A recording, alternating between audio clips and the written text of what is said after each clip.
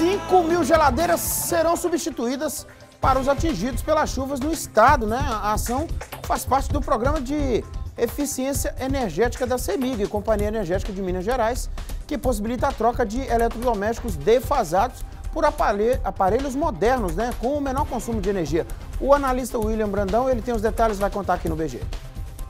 Este programa de eficiência energética, ele tem como objetivo, além de repassar os conceitos sobre o uso eficiente e correto da energia, substituir também lâmpadas e refrigeradores.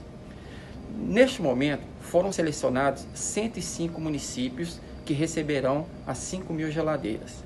Esses municípios foram selecionados através do IDH menor que 0,68 e estes municípios tiveram decretado estado de calamidade pública ou estado emergencial.